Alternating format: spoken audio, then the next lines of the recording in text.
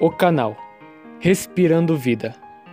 Recebe domingo, dia 27, às 19h30, em uma live abordando o tema Autoemoterapia.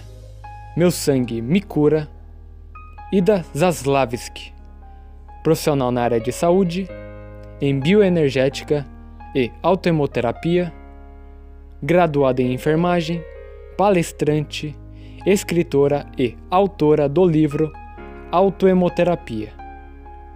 Não percam, domingo às 19h30, um bate-papo sobre saúde e qualidade de vida no canal Respirando Vida.